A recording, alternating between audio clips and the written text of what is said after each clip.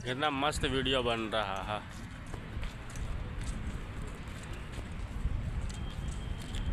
Hello guys welcome to back my vlog तो ये आप देख सकते हैं जुमा का दिन है। अल्हम्दुलिल्लाह, नमाज़ पढ़ करके अभी निकले मस्जिद से जस्ट।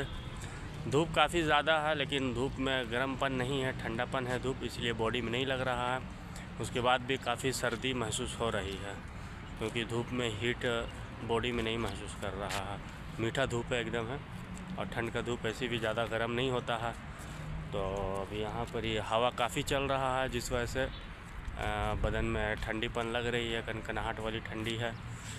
तो जो भी लोग आ रहे हैं, मैं इससे पहले वीडियो में भी सबको इतला किया हूँ। अपना सारा इंतज़ाम जो भी आपका ठंडी का हर एक चीज़ ले करके आए, चाहे वो अल्फनार कंपनी के बंदे हो या अदरवाइज़ किसी भी कंपनी के बंदे हों।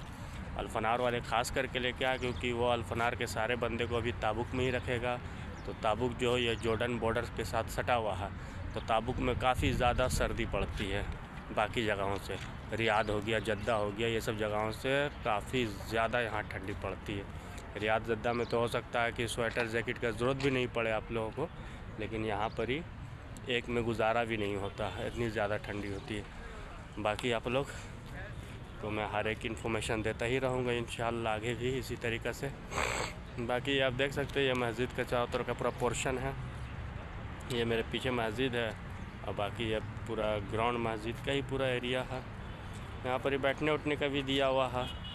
ये आप देख सकते हैं, ये बैठने उठने के लिए भी चारों तरफ़ से अरेंजमेंट किया गया है।